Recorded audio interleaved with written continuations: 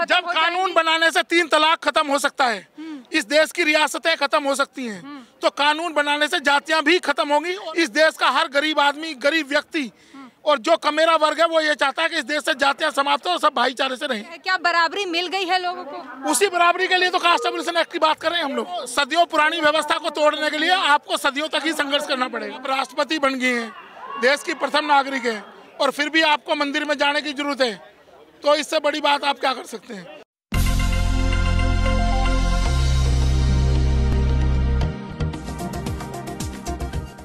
नमस्कार मैं ब्यूटी गिरी और आप देख रहे हैं जनहित आवाज़ अभी मौजूद है दिल्ली के जंतर मंतर पर और हमारे साथ मौजूद हैं आपकी अपनी पार्टी पीपल्स के जो है राष्ट्रीय अध्यक्ष जी।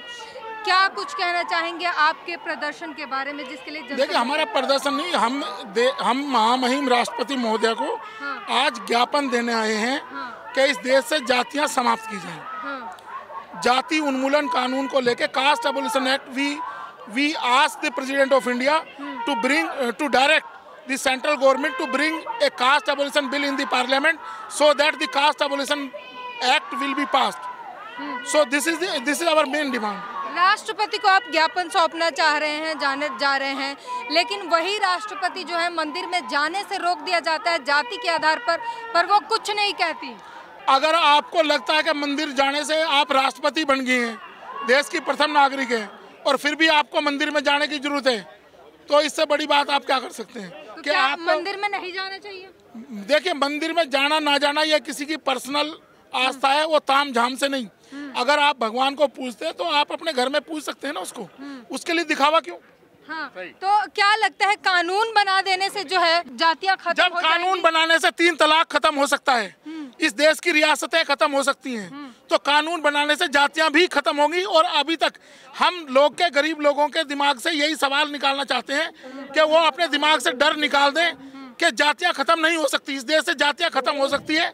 इस देश का हर गरीब आदमी गरीब व्यक्ति और जो कमेरा वर्ग है, वो ये चाहता है कि इस देश से जातियाँ समाप्त हो, सब भाईचारे से रहें। संविधान में बराबरी का अधिकार दिया गया है। क्या बराबरी मिल गई है लोगों को? उसी बराबरी के लिए तो कास्ट एबोलिशन एक्ट की बात कर रहे हैं हम लोग। अभी भी जो है संघर्ष करना पड़ रहा है बराबरी के लिए।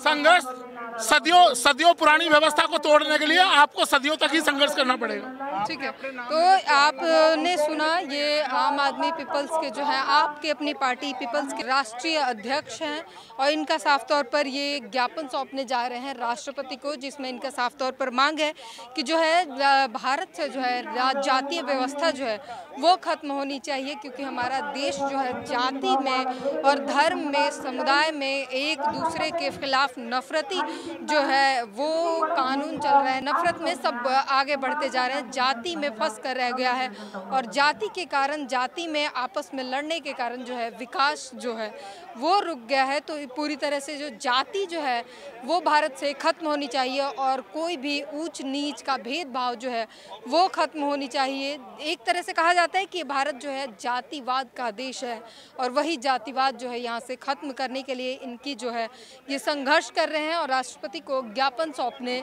जा रहे हैं। पूरी बातचीत पर अपनी प्रतिक्रिया ज़रूर दीजिएगा। कैमरामैन आशीष के साथ ब्यूटी गिरीश जनहित आवाज़।